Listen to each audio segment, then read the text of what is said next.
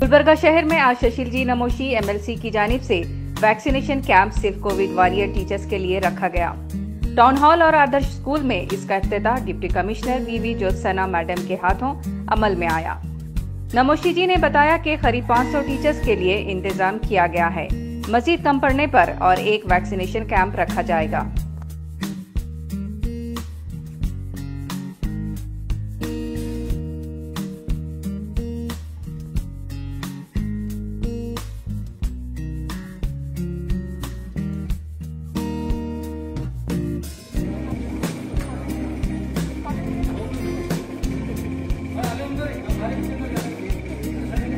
आज गुलबर्गा शहर में प्रायोरिटी प्रायोरिटी वाइज हमको इंजेक्शन देना है बोल के गवर्नमेंट का एक पॉलिसी है और आज कोविड वॉरियर्स जो, जिनको बोलते हैं, बड़े पैमाने में नर्सेस है, डॉक्टर्स हैं, उनको तो पहले ही दिया गया है, कॉरपोरेशन के एम्प्लॉयज़ वगैरह।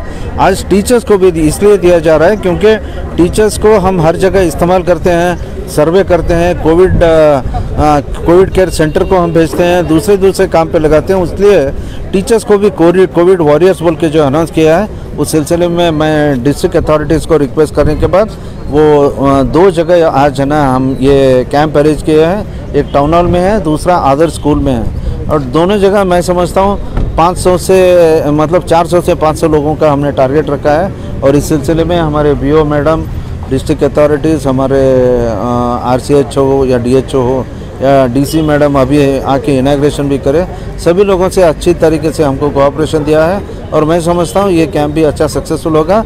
और अगर कम पड़े तो और कम पड़े तो और एक भी कैंप रखेंगे बोल के उन्होंने वादा किया है और मैं समझता हूँ हर चीज़ स्मूथली चलेगा।